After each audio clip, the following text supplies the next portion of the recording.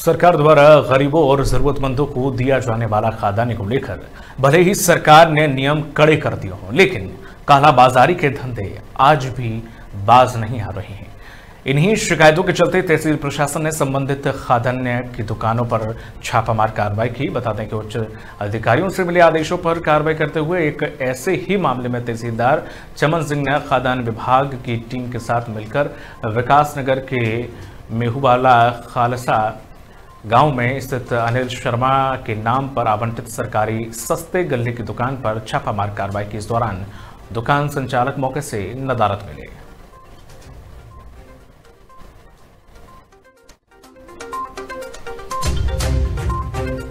आज एक उच्च अधिकारियों के मौखिक निर्देश शिकायत मिली थी कि मतलब कुछ यहाँ पे गड़बड़ी की शिकायत मिली थी। इसके क्रम हम यहाँ आए और दुकान स्वामी को हमने बुलाया।